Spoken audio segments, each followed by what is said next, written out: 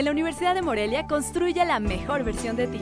Estudia tu carrera en tres años en las áreas de la salud, humanidades, económico-administrativas, videojuegos y arte digital.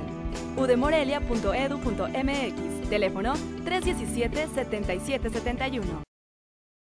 Un total de 200 altos mandos policiales de la región Uruapan y Morelia serán capacitados en la Academia Regional de Policía para que conozcan sus funciones en el nuevo sistema de justicia penal, como la preservación de la escena de los hechos. El nuevo modelo entrará en vigor en febrero del 2014. Serán los mandos superiores, que son los directores o sus homólogos, los subdirectores, los primeros comandantes o segundos comandantes, como se determine por cada municipio, y luego tiene diferente su estructura orgánica, sean los primeros que acudirán a la capacitación. A partir de junio iniciarán seis cursos que comprenderán tres semanas para reunir un total de 125 horas. Participan la Academia Regional de Seguridad Pública de Occidente, el Consejo Estatal de Seguridad Pública y el Consejo para el Nuevo Sistema de Justicia Penal en Michoacán, ya que las funciones de los policías cambiarán. Recibir denuncias sobre posibles delitos, son proteger a la víctima y canalizarla a las instancias de apoyo que correspondan, evitar que los hechos lleguen a mayores consecuencias. El curso también comprenderá el área de derechos humanos de las víctimas, los cuales se deben de cuidar en todo momento.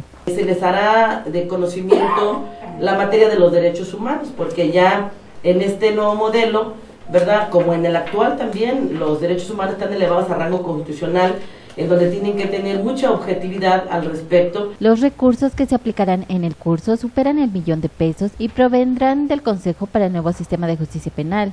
Ustedes saben que la Policía Municipal se vuelve un, una parte muy importante del nuevo sistema de justicia, tiene atribuciones eh, mayores a las que tenía eh, regularmente. Está previsto que en los próximos meses continúe la capacitación en otras regiones del estado a más elementos policiales. Con información de Miguel Ángel Sánchez, informa Guasar TV.